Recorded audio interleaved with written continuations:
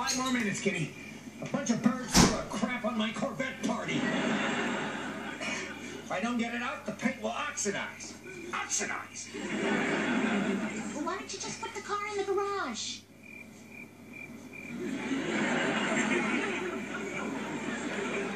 Because if I put the car in the garage, I can't see it from the dinner table. Kitty, don't give advice about things you don't understand. Okay. I'm the crazy one.